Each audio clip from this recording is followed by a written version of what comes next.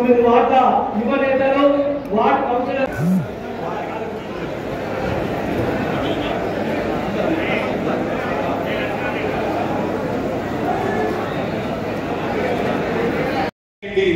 దీన్ని రద్దు చేయండి. ఇది సరిపోయింది. కాంగ్రెస్ ఏ ఉద్దేశంతో పెట్టినామో స్వాతంత్రం సిద్ధించింది. ఇక ఎవరి రాజకీయం వాళ్ళది. దీన్ని బర్ఖాస్తు చేయండి అని చెప్పింది మహాత్మా గాంధీ. ఎందుకంటే ఆయన ముందే తెలుసు. ఎప్పుడో ఈ సొంటోడు వస్తాడు ఎవడో. ఓటుకు నోటు దొంగ కూడా. ఆఖరి కాంగ్రెస్ పార్టీ అధ్యక్షుడు అవుతాడు ఆ దగులుబాజీ పని కూడా జరుగుతుంది పార్టీలో అని ఆయనకు ముందే తెలుసు. దూరం దేశ మనిషి. కానీ ఇవాళ అదే కాంగ్రెస్ పార్టీ. ఇది తప్పులు చేసింది తెలంగాణ? పంతొమ్మిది వందల యాభై ఆరులో తెలంగాణకు ఆంధ్రకు ఇష్టం లేని పెళ్ళి చేసిందే కాంగ్రెస్ పార్టీ. పంతొమ్మిది వందల అరవై ఎనిమిదిలో మూడు వందల డెబ్బై మంది పిల్లల్ని ఆనాటి మొదటి దశ ఉద్యమంలో కాల్చి చంపింది కాంగ్రెస్ పార్టీ. పంతొమ్మిది వందల డెబ్బై ఒకటిలో మీరు ఎవరు ఉట్టలే అప్పటికి నేను కూడా ఉట్టలే పంతొమ్మిది వందల డెబ్బై ఒకటిలో ఆనాడు తెలంగాణలో పద్నాలుగు పార్లమెంట్ సీట్లుండే. పద్నాలుగు పార్లమెంట్ సీట్లుంటే అందులో పదకొండు పార్లమెంట్ సీట్లు ఆనాడు తెలంగాణ ప్రజా సమితి అనే పార్టీకి తెలంగాణ ప్రజలు ఇచ్చింది ఎందుకు? తెలంగాణ తీసుకురండి ఆ పదకొండు మందిని కూడా గొర్రెలను గుంజుకపోయినట్టు గుంజుకపోయి కాంగ్రెస్లో కలుపుకొని ఏదైనా అడుగు ఒక తెలంగాణ తప్ప అని చెప్పి ఇందిరాగాంధీ ప్రభుత్వం ఆనాటి కాంగ్రెస్ ప్రభుత్వం తెలంగాణ ప్రజల ఆకాంక్షను మరొకసారి పొందబెట్టింది. మళ్ళా రెండు వేల నాలుగులో మాటిచ్చి రెండు వేల పద్నాలుగు దాకా పదేళ్ళు సావగొట్టి వందల మంది వచ్చేదాకా చూసి ఆ తర్వాత దిక్కు లేక విధి లేక ఇయ్యకపోతే సంపేస్తారు పార్టీని పాత్ర వేస్తారు అనేటప్పుడు దిక్కు లేక అనివార్యంగా ఈయక తప్పని పరిస్థితుల్లో మన పోరాట పటిమతో తెలంగాణ యువత తెలంగాణ విద్యార్థి అమరవీరుల త్యాగాలతో ఆనాడు రాష్ట్రం వచ్చింది తప్ప మర్యాదగా ఇయ్యలే కాంగ్రెస్ పార్టీ. ఇది వాస్తవం. ఇలా అదే కాంగ్రెస్ పార్టీ వచ్చి పెద్ద పెద్ద మాటలు మాట్లాడుతున్నది. అదే కాంగ్రెస్ పార్టీ వచ్చి ఇది చేస్తాం అది చేస్తాం ఒక్క ఛాన్స్ ఇవ్వండి అంటున్నది. ఒక్క ఛాన్స్ కాదు. కాంగ్రెస్ పార్టీకి మన తెలంగాణలో ప్రజలు పదకొండు ఛాన్సులు ఇచ్చింది. యాభై ఐదేళ్ళు వాళ్ళే రాజ్యం చేసిండ్రు. ఇలా వాళ్ళు వచ్చి మాట్లాడుతున్నారు. వాళ్ళు వచ్చి అప్పుడప్పుడు మాట్లాడితే గమ్మత్ అనిపిస్తుంది వాళ్ళు వచ్చి అంటున్నారు ఈ రోడ్ ఇట్లెందుకుంది ఇంకా? ఈ మోరీ అట్లెందుకుంది? ఇది ఇంకా ఎందుకు బాగా కాలే? అక్కడ డిగ్రీ కాలేజ్ ఎందుకు రాలే? అని మాట్లాడుతున్నారు. ఎట్లుందంటే కాంగ్రెస్ వాళ్ళ కథ? మీకు ఒక చిన్న కథ చెప్తున్నాను ఎట్లుందంటే కాంగ్రెస్ పార్టీ వాళ్ళు మాట్లాడే మాటలు చూస్తే యాభై ఐదేళ్ళు అధికారం వెలుగబెట్టి ఏమి చేయకుండా ఆనాడు ఇవాళ వచ్చి మాట్లాడితే నాకు ఎట్లా అనిపించిందంటే వెనకడికి ఒక పల్లెటూరులో ఒక పిల్లగాడు ఉండే. వారికి చిన్నప్పటి నుంచే చదువు సందేహం రాలేదు.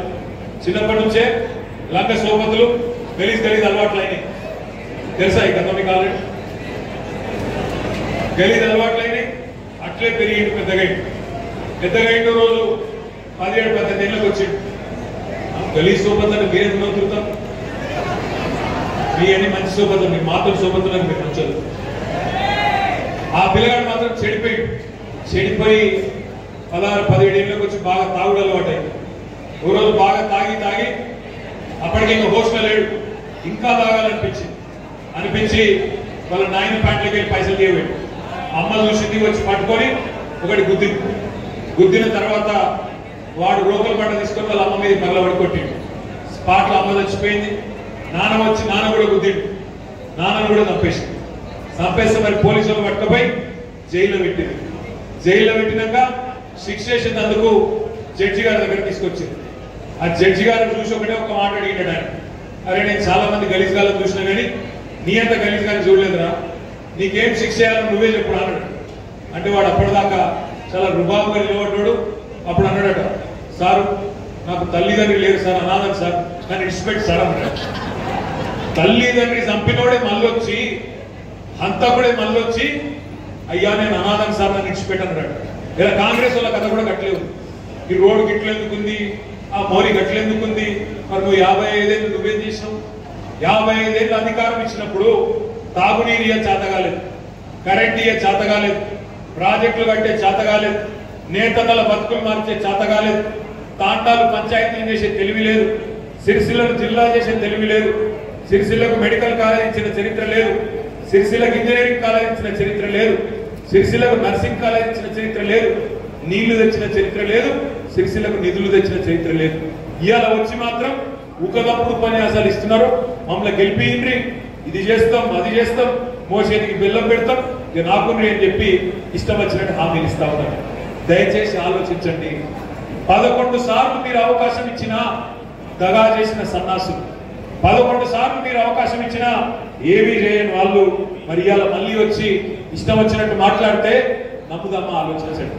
ఈ పార్టీ ఏమో ఇట్లున్నది. ఇక ఇంకో పార్టీ ఉన్నది బీజేపీ ఇక వాళ్ళు ఇంకా గొప్పలు రెండు వేల పద్నాలుగులో ఏమన్నాడు మోడీ भाइयों बहनों मित्रों आप सभी लोग जन धन खाता खोलो मैं धन धन पंद्रह लाख देता हूं అన్నాడా పడ్డాయా ఒక్కరికైనా దేశంలో పంద్రహ లాక్ ఎన్ని మాటలు చెప్పిండు పంద్రహ లాక్ ప్రపంచంలో ఉన్న నల్లధనం అంతా తెస్తా అన్నాడు మొత్తం దేశం అంతా పదిహేను లక్షలు పంచుతాడు. అన్నాడు వచ్చిండా ఇక్కడ కరీంనగర్ ఒక ఆయన తెలుసు కదా ఆయన వాళ్ళు వారాల అబ్బాయి వారాల అబ్బాయి అన్నా ఏ వారం అన్న అక్కడే ఉన్నాడు. ఏంద్రాబాయ్ అంటే ఏ వారం ఏ దేవుడు? గద్దెప్పు పడింది తెలియదు ఒక అభివృద్ధి తెలియదు. ఒక సంక్షేమం తెలియదు. ఒక కాలేజ్ తెచ్చే ముఖం లేదు. ఒక స్కూల్ తెచ్చే ముఖం లేదు. ఒక పరిశ్రమ తెచ్చే తెలివి లేదు. కానీ ఒకటి మాత్రం తెలుసు. అన్నా ఏ వారం అన్నా ఈరోజు? ఏం దేవుడు అన్నా ఇది ఒకటి ఎరిగాయి ఏం తెలియదు పాప. పెద్దగా చదువుకోలేదు. దొంగ డిగ్రీలు. ఏం చేస్తాం మరి? ఏం చదువు రాకపోతే ఏం చేయాలి? పిల్లగాళ్ళని రెచ్చగొట్టాలి నోటికి వచ్చినట్టు ఏది పడితే దొరకాలి. ఏమంటాడు ఆయన?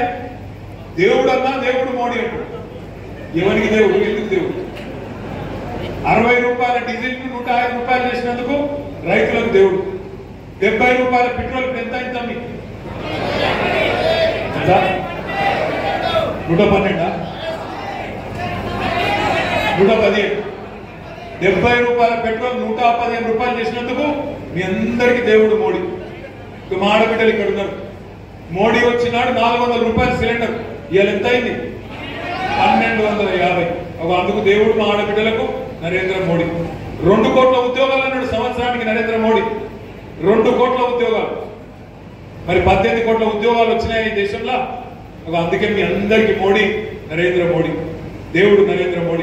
ఇంకొక మాట. ఏమేం చెప్పాడు ఇంకా? రెండు వేల పద్నాలుగులో. రెండు వేల ఇరవై రెండు కల్లా రైతుల ఆదాయం డబల్ చేస్తా అన్నాడు. రెండు వేల ఇరవై రెండు కల్లా భారతదేశంలో బుల్లెట్ రైలు ఉరుకుతాయి అన్నాడు. ఇప్పుడు వందే భారత్ రైలుకు వంద సార్లు ఉరుకుతుంది జెండా. ఒకటే రైలు ఏడమంటాడు ఆయనకి నా అవకాశం ఇస్తే అదే జెండా ప్రతి రైలు ఎక్కుతాడు ప్రతి స్టేషన్లో దిగుతాడు మళ్ళీ ఉరుకుతాడు ఆయన గట్ట తయారైన ఆయన. ఇంకా ఒక్క మాట.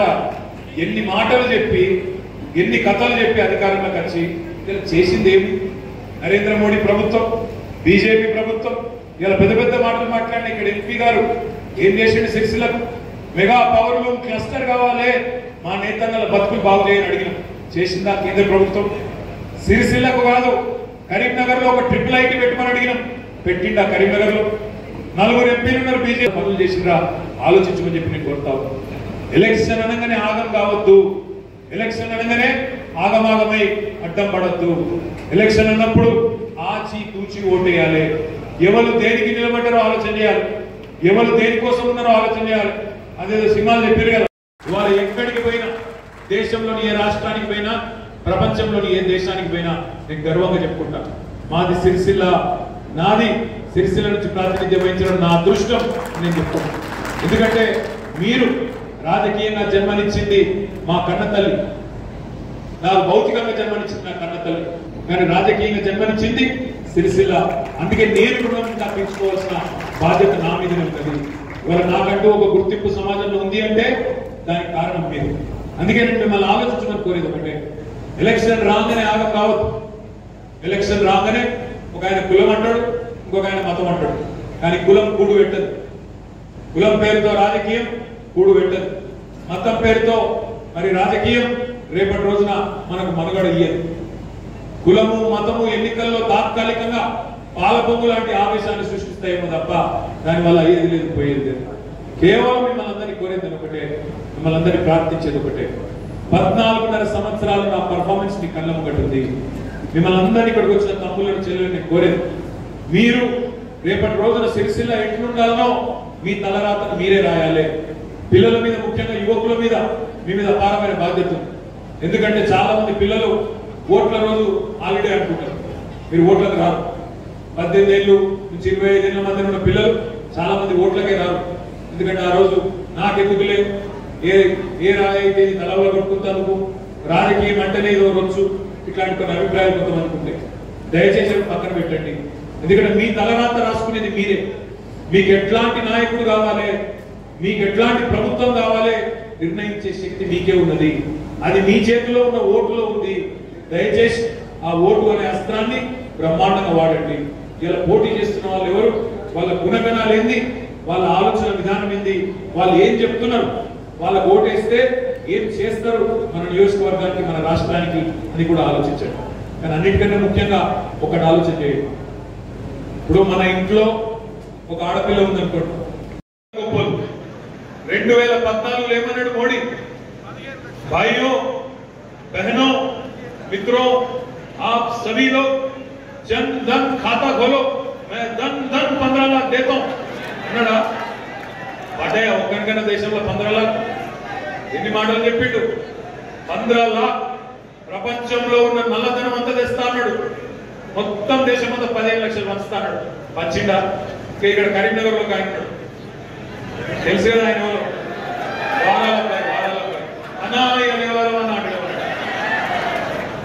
హైదరాబాద్ అంటే ఏ వారం ఏ దేవుడు? గద్దెప్పు పడింది ఒక అభివృద్ధి తెలియదు. ఒక సంక్షేమం తెలియదు. ఒక కాలేజీ తెచ్చే ముఖం లేదు. ఒక స్కూల్ తెచ్చే ముఖం లేదు. ఒక పరిశ్రమ తెచ్చే తెలివి లేదు. కానీ ఒక్కటి మాత్రం తెలుసు. అన్నా ఏ వారం అన్నా ఈరోజు? ఏం దేవుడు అన్నా ఇది ఒకటే ఏం తెలియదు పాప. పెద్దగా చదువుకోలేదు. దొంగ డిగ్రీలు. ఏం చేస్తాం మరి? ఏం చదువు రాకపోతే ఏం చేయాలి? పిల్లగాళ్ళని రెచ్చగొట్టాలి. నోటికి వచ్చినట్టు ఏది పడితే దొరకాలి ఏమంటాడు ఆయన? దేవుడు అన్నా దేవుడు మోడీ అంటాడు. ఎవరికి దేవుడు? ఎందుకు దేవుడు? అరవై రూపాయల డీజిల్ నూట ఐదు రూపాయలు చేసినందుకు రైతులకు దేవుడు. డెబ్బై రూపాయల పెట్రోల్ ఇప్పుడు ఎంత అయింది మీకు మా చెల్లెలకు కూడా ఒకటి ఆలోచించమని కోరుతా ఎవరైనా పై నుంచి వచ్చేటప్పుడు తల్లి కడుపులో పడేటప్పుడు నాది ఫలానా కులం ఉండాలని అనుకోని పుడతారా పుడతాం అందరం ఏదో ఒక కులంలో పుడతాం. ఈ సమాజంలో అలా ఒక దగ్గర పుడతాం. కానీ ఏ కులంలో పుట్టినమన్న దానికంటే పోటీ చేస్తున్న అభ్యర్థుల్లో ఎవరి గుణం మనకు రేపటికి పనికొస్తుంది. రేపటి నాడు సిరిసిల్ల అభివృద్ధికి మన నియోజకవర్గ అభివృద్ధికి ఎవరు కరెక్ట్ అని ఆలోచన చేయాలి తప్ప కులం పేరు మీద మతం పేరు మీద పనికిమాలిన పంచాయతీలు పెట్టుకొని పనికిమాలిన భావాలు పెంచుకొని అనవసరపు అపోహలకు పోయి మనది మనం నష్టం చేసుకుంటే మళ్ళీ శాశ్వతంగా దెబ్బతిపోతాం ఏం జరగనే లేదు. నాకైతే నల్లబడతలేదని ఇక్కడ ఉన్నోడు మాట్లాడతాడు. ఆయన కాంగ్రెస్ వాడే ఈయన కాంగ్రెస్ వాడే అక్కడున్నోడేమో మొత్తం సిరిసిలకి కొట్టబోయిందని అక్కడ వాడు ఇక్కడున్నోడు ఇక్కడ నా మీద పోటీ చేసిన ఆయన మాత్రం ఏం జరగలేదు ఏమి కనబడతలేదు నాకని చెప్పి ఇక్కడ ఉన్న ఆయన మాట్లాడతాడు తీర్పు ఇవ్వవలసింది ప్రజాస్వామ్యంలో అంతిమంగా సిరిసిల్ల ప్రజలు ఈ రాష్ట్ర ప్రజలు మాత్రమే. ఎవరమైనా ఎన్నికల్లో ఎవరి వాదన వాళ్ళని చెప్తాం. ఏం చేసిందో తొమ్మిదిన్నరేళ్ళలో మీ కన్నం కట్టే ఉంది.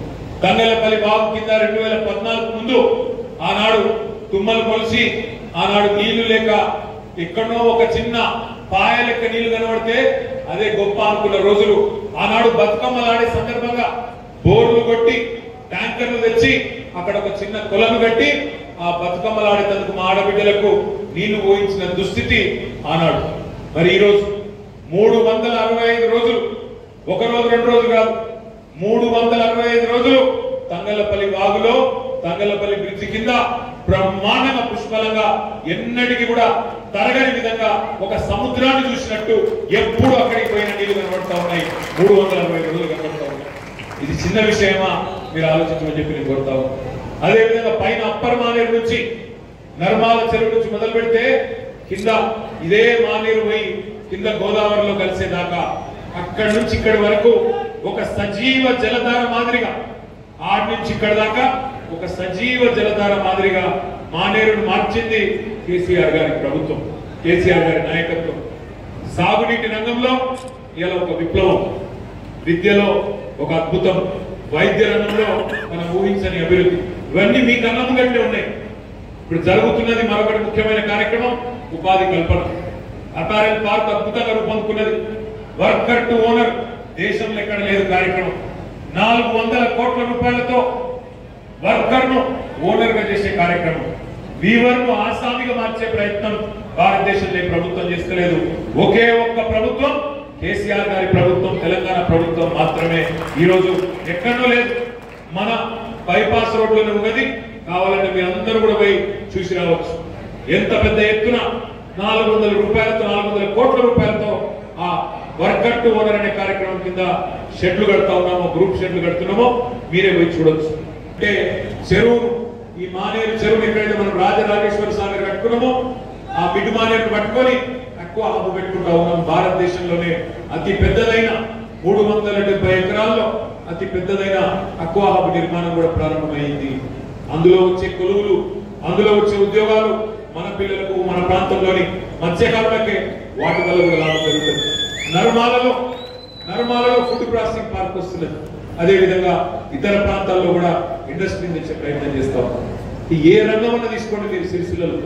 విద్య కావచ్చు వైద్యం కావచ్చు రోడ్లు కావచ్చు పట్టణాలు కావచ్చు పల్లెలు కావచ్చు సంక్షేమం కావచ్చు అభివృద్ధి కావచ్చు ఏ రంగమైన కావచ్చు. విద్యుత్ కావచ్చు వ్యవసాయం కావచ్చు ఇంకోటి కావచ్చు ఇంకోటి కావచ్చు. ఏ రంగం తీసుకున్నా ఈ తొమ్మిదిన్నర తొమ్మిదిన్నరేళ్ళలో అద్భుతమైన పురోగతి అద్భుతమైన అభివృద్ధి ఒక్క మన నియోజకవర్గంలోనే కాదు రాష్ట్రంలోని అన్ని నియోజకవర్గాల్లో కూడా ఎవరైనా చూడగ చూడాలనుకునే వాళ్ళకు కనబడుతున్నది. కేవలం కనబడడం వాళ్ళు ఎవరంటే కళ్ళుండి చూడలేని వాళ్ళు. కంటి వెలుగు క్యాంపుకు పోయి కూడా ఇవాళ కనబడినట్టు నటించే వాళ్ళు ఎవరైనా ఉన్నారా అంటే రాష్ట్రంలో కాంగ్రెస్ వాళ్ళు బీజేపీ వాళ్ళు మాత్రమే ఉన్నారు. వాళ్ళ కనబడతలేదంటే ఏది సిరిసిల్లను వాళ్ళేదో బాగా చేసిపోయిందట నేను మొత్తం ఖరాబ్ ఖరాబ్ చేసినట్టు ఈ తొమ్మిది నెలల్లో మరి నేను మంచిగా చేసినా ఖరాబ్ చేసినా తీర్పు చెప్పవలసిన బాధ్యత మా సిరిసిల్ల అన్నదమ్ములది సిరిసిల్ల ఆడబిడ్డలదని చెప్పి నేను విజ్ఞప్తి చేస్తా ఉన్నాను మిమ్మల్ని అందరినీ నేను ఒకటే కొడతా నాలుగున్నరేళ్ళు నాలుగున్నర నేను ఇప్పుడు ఎమ్మెల్యే పద్నాలుగున్నరేళ్ళు ఎలక్షన్ టర్మ్ ఐదేళ్ళు మీకు తెలుసు. నాలుగున్నరేళ్ళు కులం ఉండదు మతం ఉండదు ఎలక్షన్ రాగానే ఒకరు కులం అని బయలుదేరుతారు. ఇంకొకరు మతం అని బయలుదేరుతారు. మా కులం ఆయనకి ఇచ్చిన టికెట్ కాబట్టి మా కోటేయాలి. మా మతం ఆయనకి ఇచ్చారు కాబట్టి మా కోటేయాలి మరి అభివృద్ధి జరిగేటప్పుడు పని చేయాల్సి వచ్చినప్పుడు సిరిసిలను బాగు చేసేటప్పుడు ఆ రోజేమో ఇవేమి గుర్తుకురావు వీళ్ళందరూ అన్నాడు ఉండరు ఎవరు ఉండరు మళ్ళా. సిరిసులను ఎట్లా బాగు చేద్దామని ఆలోచన లేదు. కేవలం ఎలక్షన్ రాగానే నాలుగు ఓట్లు దండుకునేందుకు కులం గుర్తొస్తుంది మతం గుర్తొస్తుంది. నేను ఇక్కడికి వచ్చిన మా తమ్ముళ్ళందరూ నేను ఒకటి అడుగుతా ఉన్నా మా చెల్లెలకు కూడా ఒకటి ఆలోచించమని కోరుతా ఉన్నా. ఎవరైనా పైనుంచి వచ్చేటప్పుడు తల్లి కడుపులో పడేటప్పుడు నాది ఫలానా కులం ఉండాలని అనుకోని పుడతారా పుడతాం అందరం ఏదో ఒక కులంలో పుడతాం. ఈ సమాజంలో అలా ఒక దగ్గర పుడతాం. కానీ ఏ కులంలో పుట్టినదన్న దానికంటే పోటీ చేస్తున్న అభ్యర్థుల్లో ఎవరి గుణం మనకు రేపటికి పనికొస్తుంది. రేపటి నాడు సిరిసిల్ల అభివృద్ధికి మన నియోజకవర్గ అభివృద్ధికి ఎవరు కరెక్ట్ అని ఆలోచన చేయాలి తప్ప కులం పేరు మీద మతం పేరు మీద పనికిమాలిన పంచాయతీలు పెట్టుకొని పనికిమాలిన భావాలు పెంచుకొని అనవసరపు అపోహలకు పోయి మనది మనం నష్టం చేసుకుంటే మళ్ళీ శాశ్వతంగా దెబ్బతిపోతాం దయచేసి ఆలోచించండి. ఇవాళ రకరకాల వ్యక్తులు రకరకాల మాటలు మాట్లాడుతూ ఉన్నారు. నేను ఒక్కడే మిమ్మల్ని ఆలోచించమని కోరేది గత పద్నాలుగున్నర సంవత్సరాలుగా సిరిసిల్ల ఎమ్మెల్యేగా అభివృద్ధి నా కులం సంక్షేమమైన మతం అనుకుని నేను పనిచేసిన ఈ రోజు కూడా నేను మిమ్మల్ని అందరినీ కోరేది ఒకటే. నేను పనికి వస్తా నేను పని చేయగలుగుతా మీకు వల్ల మీకు నా వల్ల మేలు జరుగుతుంది ఈ ప్రాంతానికి నియోజకవర్గానికి అంటే తప్పకుండా నా కోటే. కాదు నీకంటే మెరుగైన అభ్యర్థి వచ్చిండు నీకంటే గొప్పవాడు ఉన్నాడు నీకంటే ఎక్కువ చేయగలుగుతాడు అనుకుంటే తప్పకుండా మీ నిర్ణయం మీరు తీసుకోండి. కానీ ఒకటి మాత్రం దయచేసి నేను మిమ్మల్ని పదే పదే కొడుతాం పద్నాలుగున్నరేళ్ళు మీకు కట్టిన మొదటిసారి గెలిచినప్పుడు నేను మీకు చెప్పిన తెలంగాణ సాధన కోసమే నష్టపడతా మీరు ఇచ్చే ప్రతి ఓటు తెలంగాణ సాధన కోసమే కష్టపడి పనిచేసి మీ పేరు నిలబెడతా అని చెప్పిన. రెండు వేల తొమ్మిదిలో మీరు గెలిపించింది గెలిపించిన తర్వాత మొదటి ఐదు సంవత్సరాలు తెలంగాణ సాధన కోసం జైలుకు పోయినాం. దెబ్బలు తిన్నాం కేసులు పెట్టించుకున్నాం. ఎన్ని రాస్తా రోకోలు ఎన్ని ధర్నాలు ఎన్నెన్ని కార్యక్రమాలు మీరు కూడా చాలా మంది పాల్గొన్నారు. నాకంటే బాగా మీకే తెలుసు. ప్రత్యేకించి పట్టణంలోని యువ మిత్రులతో మా తమ్ములతో చెల్లెలతో మాట్లాడమని ఆహ్వానించినందుకు ఈ కార్యక్రమాన్ని ఏర్పాటు చేసినందుకు చక్రపాణి గారికి అదేవిధంగా మా పట్టణ కౌన్సిలర్లందరికీ పేరు పేరున పట్టణ వార్డు అధ్యక్షులందరికీ పేరు పేరున హృదయపూర్వకంగా నేను ధన్యవాదాలు కూడా తెలియజేసుకుంటాను తెల్లారి లేవగానే మీ దినచర్య ప్రారంభమయ్యేది ఫోన్తో. తెల్లారి లేవగానే ఫస్ట్ చెక్ చేసేది ఫోన్ అంతేనా?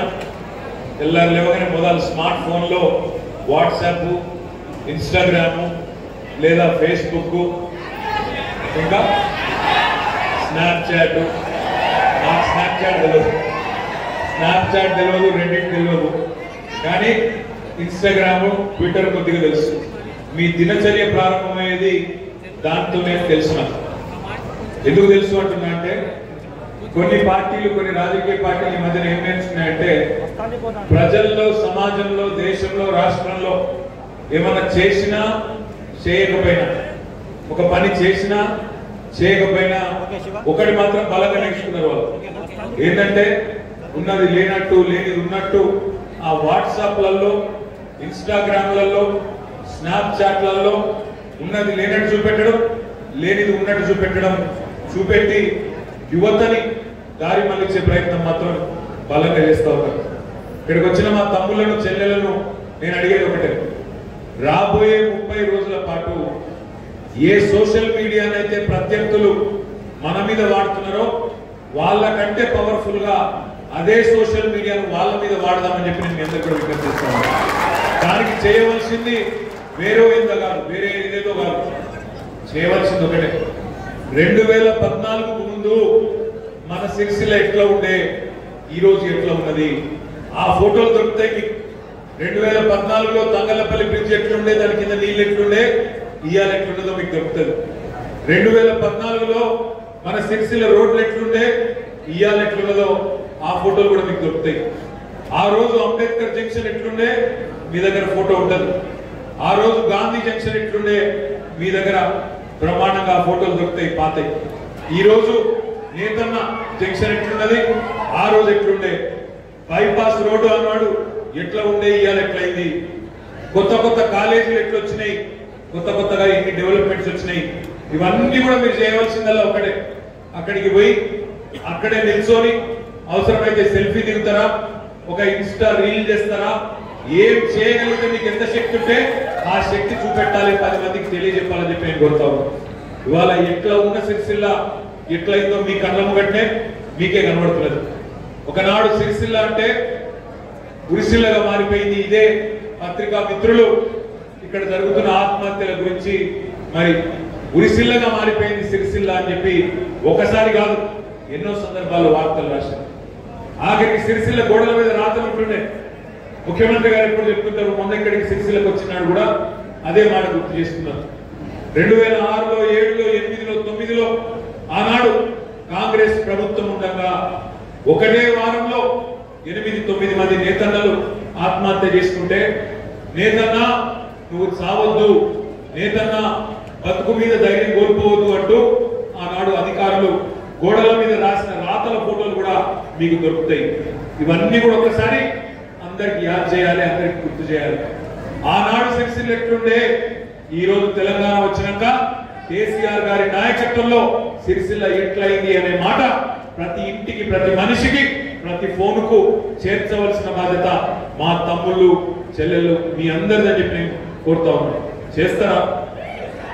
గెలిపిస్తారా లేదా? పక్కానా? ఇది సౌండ్ వస్తలేదు మరి.